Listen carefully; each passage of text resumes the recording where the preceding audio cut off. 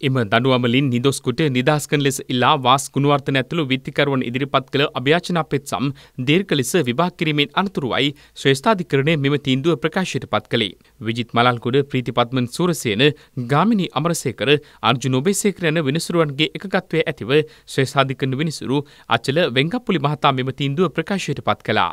අගවිනිසුරයා පැවසුවේ පෙත්සම්කරු හා නීතිපතිවරයා ඉදිරිපත් කළ කරුණු සලකා බැලීමෙන් අනතුරුව මෙම තීන්දුව ප්‍රකාශයට පත් කරන බවයි. මහාධිකරණය ලබා දුන් තීන්දුවට මැදිහත්වීමට සාධාරණ පදනමක් නොමැති හෙයින් විත්තිකරුවන්ගේ අභ්‍යාචනා ප්‍රතික්ෂේප කරන බවත් විනිසුරු මඩුල්ල සඳහන් කළා.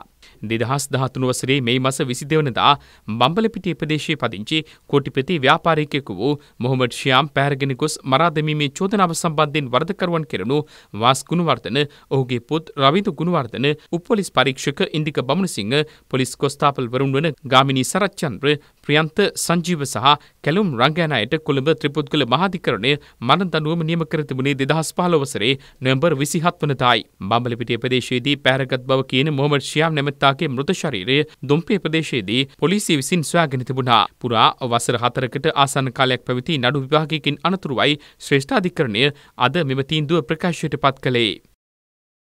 මේ අතර දෙදහස් දොලාවසලේ වැලිකඩ බන්ධනාකාරය තුළ ඇති වූ ගැටුම්වලින් සිරකරුවන් පිරිසක් මරාතමීමේ චෝදනාවලට වරදකරු කෙරුණු හිටපු බන්ධනාකාර කොමසාරිස් එමිල් රංජන් ලබා හේවා මහතාට කොළඹ ත්‍රිපුද්ගල මහාධිකරණ විනිසුරු මඩුල්ලක් විසින් ලබා දුන් මරණීය දඬුවෙන් ඒ මහතා නිදොස් කොට නිදහස් කළ ලෙස ශ්‍රේෂ්ඨාධිකරණය අද නියෝග කළා. ඒ අදාළ දඬුවමට එරෙහිව ඔහු ඉදිරිපත් කළ ඇපෑලක් පිළිගනිමිනුයි. එම චෝදනා සම්බන්ධයෙන් නීතිපතිරා විසින් හිටපු බන්ධනාකාර කුමසාරිස් එමිල් රංජන් ළමාහේවා සහ පොලිස් මද්‍රව්‍ය විනාශකාරංශයේ හිටපු පොලිස් පරීක්ෂක නියෝමල් රංගජීවන මහතුරුන්ට එරෙහිව කොළඹ මහාධිකරණය හමුවේ අධිචෝදනා ගුණ කර තිබුණා.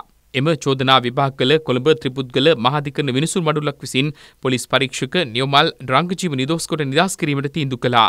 සෙසු විත්තිකරුන් ලෙස නම් කර සිටි හිටපු බන්ධනාගාර කුමසාරිස් එමිල් රංජන් ලබා හේවා මහතාට එරෙහි චෝදනා සාධාරණ සැකයකින් ඔප්පු වී ඇතැයි තීන්දුව කළ ත්‍රිපුද්ගල මහාධිකරණය විනිසුරු මඩුල්ල ඔහුට මරණ දඬුවම නියම කරන ලැබුවා. ඊට එරෙහිවයි ළමා හේවා මහතා ශ්‍රේෂ්ඨාධිකරණය වෙත මෙම ඇපෑල ඉදිරිපත් කර තිබුණේ.